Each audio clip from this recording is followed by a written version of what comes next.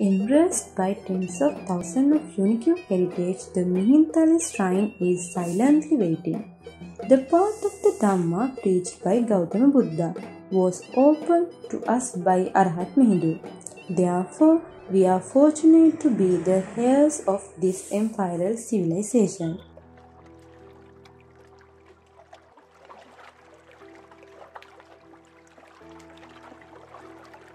You may not be unaware of the Kaludiya pond which quite on the brink of Misaka Power. This is a very quite wonderful environment and truly breathtaking sanctuary. You can enter here by passing the Mihintale coming a little further on the Dambulla road near the sign Kaludiya Pokuna Aranya Senasana on the left side of the road.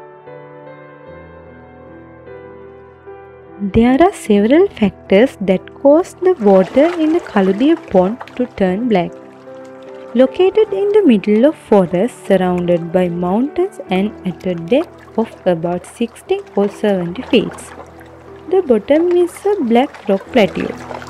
It is said that at the bottom there are water atria. There are 68 Shunyata in the Mihintale street area which have been dedicated to the humble monks. After informing King Devanam Piyatissa that Anubudu Theras who had come to this country on the Poson Day wanted to wear a veil. The caves on the Kaludiya Pokuna Kanda were renovated and offered.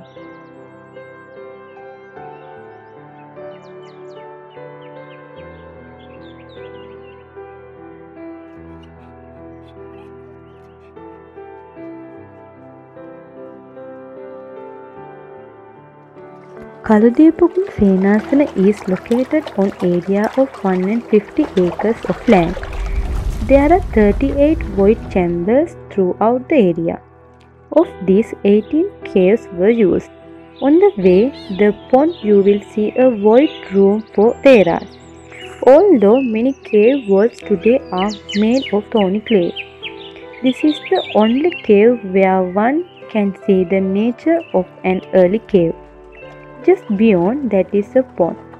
The ruin of huge boundary stone in the center of the water table are clearly visible.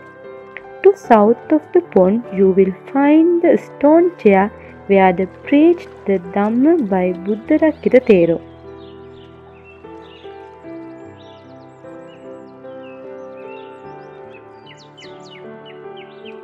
However, Kaludiyapon is an ancient Buddhist shrine of ancient value and enlighten the minds.